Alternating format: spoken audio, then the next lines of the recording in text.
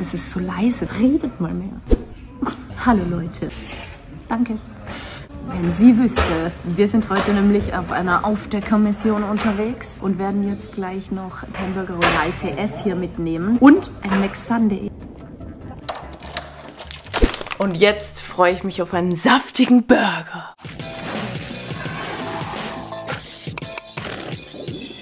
Dieser Moment, wo man sich fragt, wird das Ding aussehen wie in der Werbung?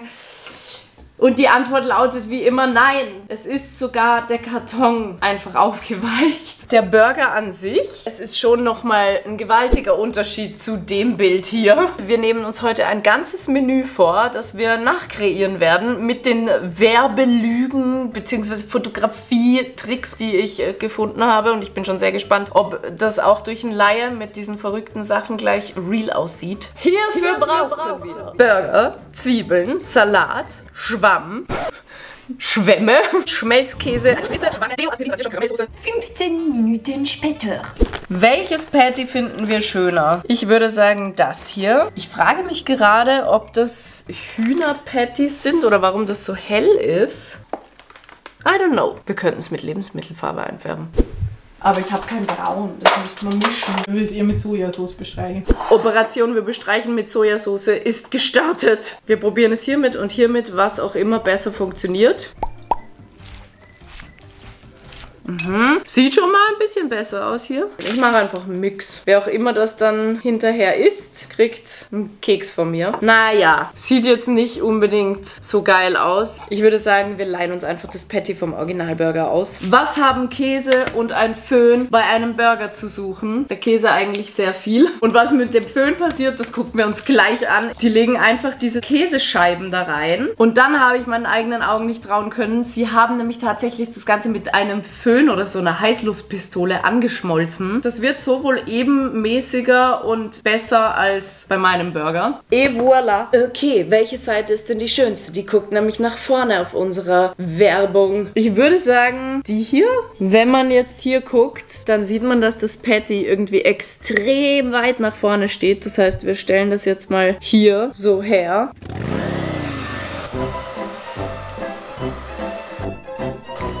Das Schlimme ist halt, das fängt gerade richtig gut an zu riechen alles. Als nächstes haben wir hier ein paar Tomätchen.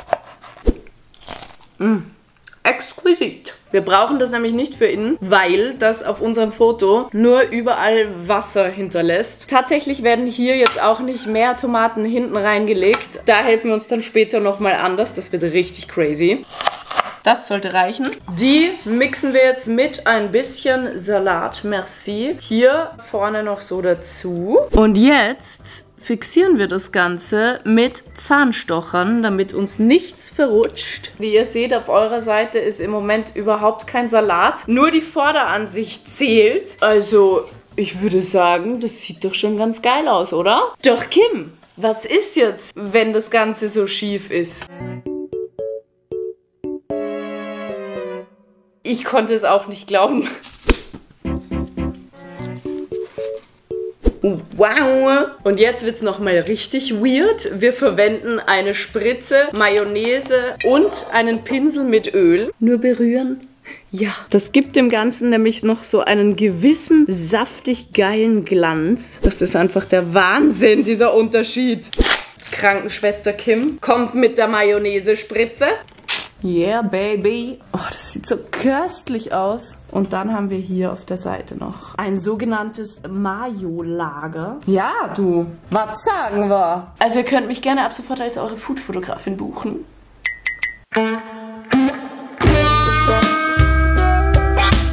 Und von hinten dann so lecker. Als Beilage habe ich uns natürlich leckere Pommes mitgenommen. Man sieht die Hälfte auf den ersten Blick nicht, weil sie nach unten gesackt ist. Komisch nur, dass es in den Werbungen immer so aussieht.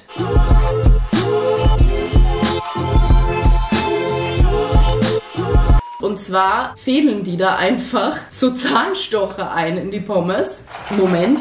Nehmen sich einen Schwamm, der kommt hier rein. Natürlich muss er so ein bisschen gekürzt werden, weil das hier ist etwas auffällig. Machen wir einfach mal mit Augenmaß Sieht doch ganz gut aus. Da stecken wir jetzt einfach unser Pommes rein und ich würde sagen, das ist doch schon ein wesentlich lebendigerer Look als zuvor. Wir haben die sogar richtig hier nach Größen geordnet.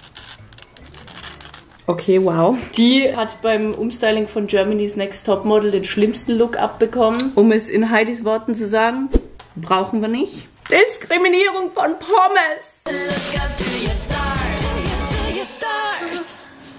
Die sind fast schon zu symmetrisch, aber sie sind halt einfach auf dem Werbefoto auch so. Es ist so witzig, wie einem auffällt, wie unrealistisch eigentlich diese Produktbilder aussehen und wie man nie so einen Gedanken daran verschwendet hat zuvor. Der Moment der Wahrheit. Wow.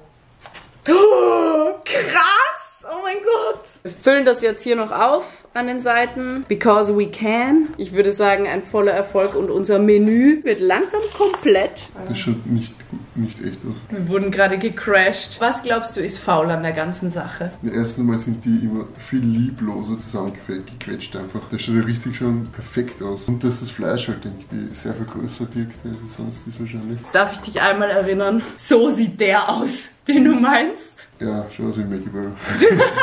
Also doch falsch erinnert. Da seht ihr mal, Leute, was die Werbung eigentlich mit uns macht. Denn in der Werbung sieht das so aus. Hey, boy!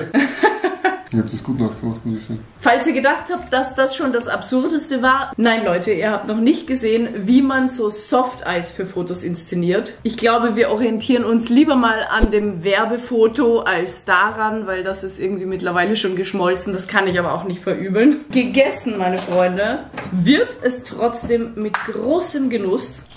Mmh.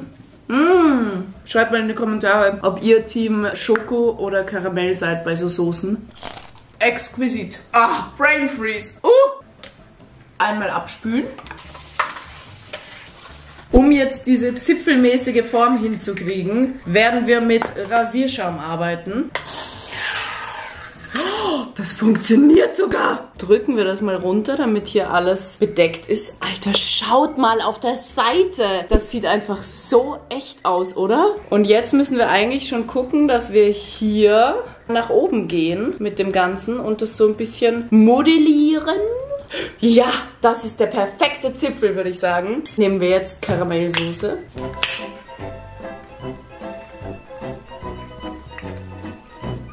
okay. Ja, nichts verschwenden. Wir gucken jetzt einfach, dass wir das jetzt hier so in die Rillen gut reinkriegen. Das Geile ist halt auch, der Rasierschaum gibt überhaupt nicht nach. Ich war mir nämlich richtig unsicher, ob der nicht komplett schmilzt, sobald ich einfach mit der Soße da reingehe. Denn das würde ein normales Softeis tun und dann bräuchte man wahrscheinlich auch nicht solche crazy Workarounds hier. Oh mein Gott! Das ist absolut krass, Leute. Sieht das nicht original aus, wie auf dem Werbefoto? Also es wird ein Hack irgendwie besser als der andere gerade. Ich bin so begeistert. Ich fühle mich so, als hätte ich irgendwie die Matrix geknackt. Also wenn mir das jemand hinstellen würde, ich glaube, ich würde es sogar essen. Der perfekte Prank, wobei ich merke gerade, dass es irgendwie ein bisschen sehr stark nach Blume und so riecht. Also spätestens, wenn der Löffel unter der Nase ist, würde man es stecken. Und jetzt, liebe Leute, es ist komplett Zeit für einen Drink, wenn ihr mich fragt. Und zwar ein ganz besonderer. Wir mixen hier jetzt nicht Whisky mit rein, sondern Aspirin.